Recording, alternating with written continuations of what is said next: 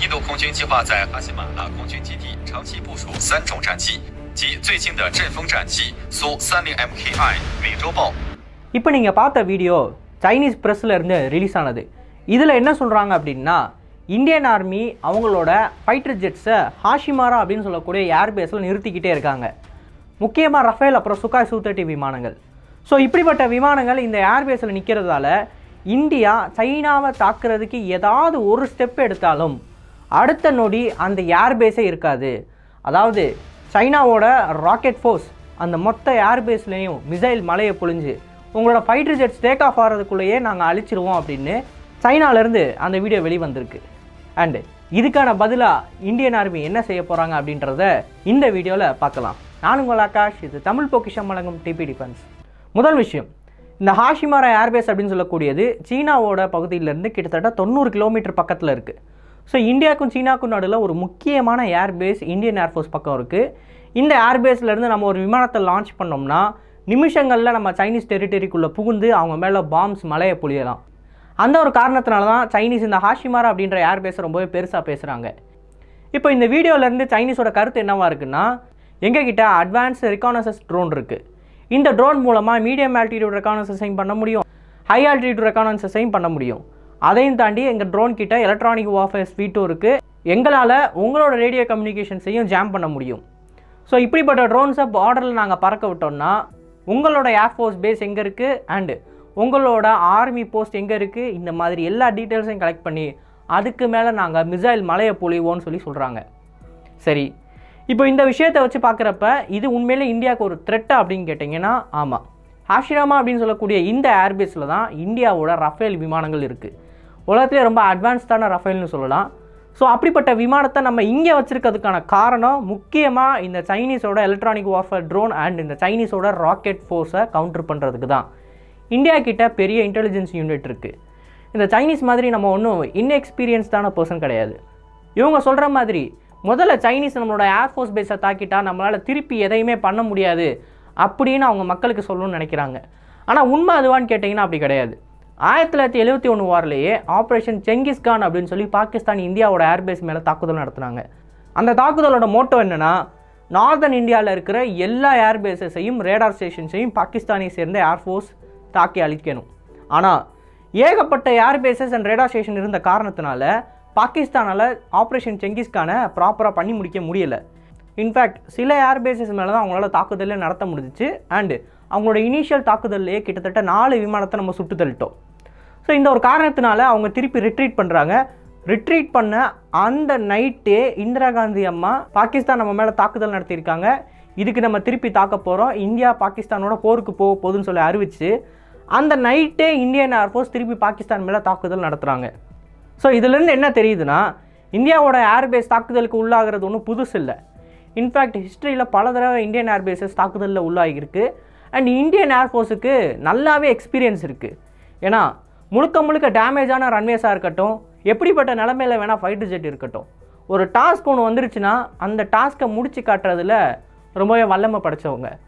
And இந்த சைனீஸோட இந்த ஒரு குறிப்பிட்ட கிளைமை வச்சு பார்த்தோம்னா இந்தியா கிட்டத்தட்ட இருபத்தஞ்சு ஏர்பேசஸ் வச்சுருக்கு சைனீஸை கவுண்டர் பண்ணுறதுக்கு ஆனால் சைனீஸ் கிட்ட வெறும் பதினோரு ஏர்பேசஸ் தான் இருக்குது அண்ட் ஆயிரத்தி தொள்ளாயிரத்தி எழுபத்தி ஒன்றில் பாகிஸ்தான் பண்ண மாதிரி சைனா தப்பு பண்ண மாட்டாங்க.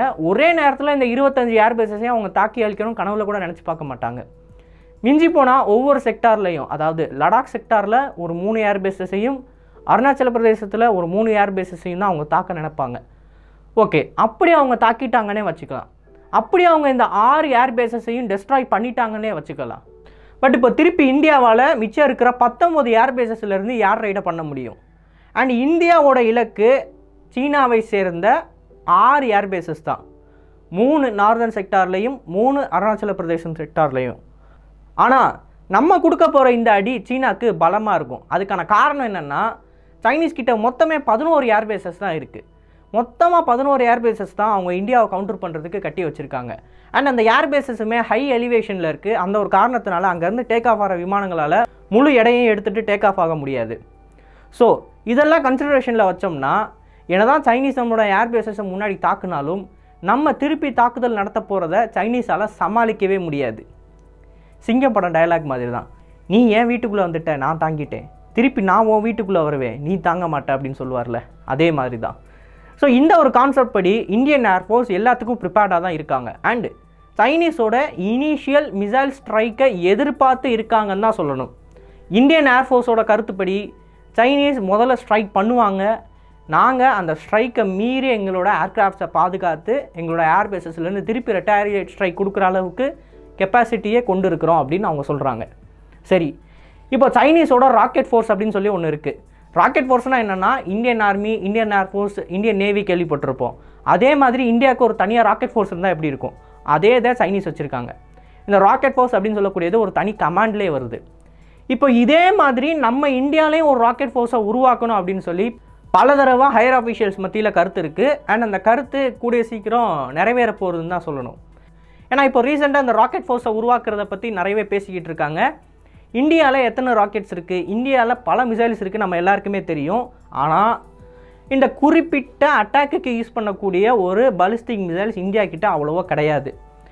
நம்ம இருக்கிறது எல்லாமே பார்த்தீங்கன்னா nuclear missiles Agni one two three four five எல்லாமே நியூக்ளியர் மிசைல் அப்புறம் பிருத்திவி அப்படின்னு சொல்லக்கூடியது ஒரு நியூக்ளியர் மிசைல் இது எல்லாமே நியூக்ளியர் ஸ்ட்ரைக்கு யூஸ் பண்ணக்கூடியது. இந்த மிசைலில் நம்ம கன்வென்ஷனல் வாரேட்டை வச்சு சீனாக்குள்ளே அனுப்பணும்னா அவங்க இது ஒரு நியூக்ளியர் மிசைல் நினச்சிட்டு திருப்பி நம்ம மேலே நியூக்ளியர் ஸ்ட்ரைக் பண்ணுறதுக்கு வாய்ப்பு இருக்குது ஸோ இது ஒரு நியூக்ளியர் வாருக்கு வழிவகுக்கும்.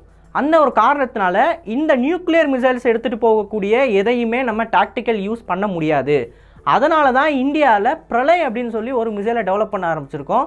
இந்த பிரளய் அப்படின்னு சொல்லக்கூடியதை ரீசெண்டாக நம்மளோட இந்தியன் ஏர்ஃபோர்ஸ் இண்டெக்ட் பண்ண போகிறதா சொல்லியிருக்காங்க. கிட்டத்தட்ட நூற்றி இருபது மிசைல்ஸை இண்டெக்ட் பண்ண போகிறாங்க அதுக்கப்புறமா இந்தியன் ஆர்மி இந்த மிசைலை இண்டெக்ட் பண்ண போகிறாங்க இது மூலமாக நூற்றம்பதுலேருந்து ஐநூறு கிலோமீட்டர் தள்ளி இருக்கிற சீனாவோட ஏர்பேஸஸையும் நம்மளோட ராக்கெட்ஸை வச்சு தாக்கி அளிக்க முடியும். அண்ட் உலகத்திலே தலை சிறந்த பிரம்மோஸ் அப்படின்னு சொல்லக்கூடிய ஹை அக்யூரசி மிசைல் இருக்குது அண்ட் இந்த மிசைலை நம்ம சீனாக்கு எதிராக எஃபெக்டிவாக யூஸ் பண்ண முடியுமான்னு கேட்டிங்கன்னா முடியாது. ஏன்னா இதோட வார் ரேட் ரொம்பவே கம்மி அண்ட் இந்த மிசைல் ரொம்பவே காஸ்ட்லி இதை சீனாவை எதிர்த்து யூஸ் பண்ணுறப்ப சில முக்கியமான கமாண்ட் போஸ்ட் சில முக்கியமான இடங்களை தாக்குறதுக்கு மட்டும்தான் யூஸ் பண்ணுவோம். அதை தாண்டி ஒட்டுமொத்த ரன்வேயும் காலி பண்ணுறதுக்கு நம்ம கிட்ட இருக்கிற இந்த பிரளய் மிசைலை தான் யூஸ் பண்ண போகிறோம் ஸோ இந்த பிரளய் மிசைலோட இண்டக்ஷன் அப்படின்னு சொல்லக்கூடியது இந்த சீனர்களுக்கு சரியான ஒரு பதிலடியை கொடுக்குற விதமாக தான் இருக்குது அண்ட் நான் முதல்ல சொன்ன மாதிரி இந்தியன் ஏர்ஃபோர்ஸ் பேஸை நாங்கள் மிசைல் ஸ்ட்ரைக் மூலமாக தாக்கிடுவோம் அப்படின்ற அந்த சைனாவோட கருத்துக்கு இந்தியாவோட பதிலீடு என்ன? எங்கள் இருபத்தஞ்சி இருபத்தஞ்சு ஏர்பேஸ் இருக்குது அதில் மிஞ்சி போனால் உங்களால் ஆறு ஏழு ஏர்பேஸை தான் தாக்கி முடிக்க முடியும். மிச்சம் இருக்கிற ஏர்பேஸை வச்சு உங்களோட ஏர்பேஸில் நாங்கள் பெரிய தாக்குதல் நடத்துவோம். ஆனால் உங்ககிட்ட வெறும் பதினொன்று தான் இருக்குது அந்த பதினொன்றை வச்சு உங்களால் சமாளிக்க முடியாது அப்படின்னு இந்திய தரப்புலேருந்து சொல்கிறாங்க சைனீஸ் கிட்ட மட்டும்தான் ராக்கெட் ஃபோர்ஸ் இருக்குது அப்படின்னு நினச்சிக்கிட்டு இருக்கீங்க. ஆனால் இந்தியா கிட்டேயும் போதுமான அளவுக்கு ஸ்ட்ராட்டஜிக் வெப்பன்ஸ் எடுத்துகிட்டு போகக்கூடிய ராக்கெட்ஸ் இருக்குது அதை நாங்களும் பயன்படுத்துவோம். நீங்கள் எங்கள் மேலே ராக்கெட் அட்டாக் பண்ணீங்கன்னா நாங்களும் உங்கள் மேலே ராக்கெட் அட்டாக் பண்ணுவோம். இந்த ரெண்டு விஷயத்தை பொறுத்த வரைக்கும் என்னதான் சைனீஸ் கிட்ட அதிகமான நம்பர்ஸில் எக்யூப்மெண்ட் இருந்தாலும் நிலப்பரப்பு அவங்களுக்கு சாதகமாக இல்லை. அண்ட் ஸ்ட்ராட்டஜிக் பாயிண்ட் ஆஃப் வியூவில் எப்படி சண்டை போடணும் எந்த இடத்துல எத்தனை ஃபைட்டர் ஜெட்ஸை யூஸ் பண்ணணும் எந்த இடத்துல எந்தெந்த மிசைல்ஸை போடணும் அப்படின்ற அந்த நாலேஜும் சீனா கிட்ட இல்லை. அவங்க இது வரைக்கும் ஜெயிச்ச ஒரே ஒரு war nineteen sixty two war தான். இந்தியாவுக்கும் சீனாவுக்கும் நடுவில் சண்டை போட்டாங்க. அதுக்கடுத்து வியட்நாமில் போய் தோற்று போயிட்டு வந்துட்டாங்க. அதுக்கடுத்து அவங்க எந்த ஒரு சண்டையிலையும் ஈடுபடல. ஆனால் ஆயிரத்தி தொள்ளாயிரத்தி அறுபத்தி ரெண்டு தோல்விக்கு அப்புறமா இந்தியா ஏகப்பட்ட வார்ஸ் பாகிஸ்தானோட பண்ணியிருக்கு. கிட்டத்தட்ட பதிமூணுலேருந்து பதினேழு நாளுக்குள்ளே ஒரு பெரிய நாட்டையே பிடிச்சி புதுசாக ஒரு நாடை உருவாக்கியிருக்கு. ஸோ இப்படிப்பட்ட எக்ஸ்பீரியன்ஸ் கொண்ட இந்தியாவை சீனாவால் இப்போதைக்கு சமாளிக்க முடியுமா அப்படின்னு கேட்டிங்கன்னா முடியாது அப்படின்றது தான் ஆணித்தரமான பதில். ஸோ அவங்கக்கிட்ட என்ன தான் டெக்னிக்கல் சுப்பீரியாரிட்டி இருந்தாலும் நம்பர்ஸ் வைஸில் அவங்கக்கிட்ட அதிகமான எக்யூப்மெண்ட்ஸ் இருந்தாலும் நிலப்பரப்பு அவங்களுக்கு சாதகமாக இல்லை அண்ட் அவங்களுக்கு போதுமான அளவு எக்ஸ்பீரியன்ஸும் இல்லை. ஸோ இதுதான் என்னோட கருத்து அண்ட் ஸோ நீங்கள் என்ன நினைக்கிறீங்க? இந்த சைனீஸ் மீடியாவோட கிளைமுக்கு அப்படின்ற உங்களோட கமெண்ட்ஸை பதிவிடுங்க.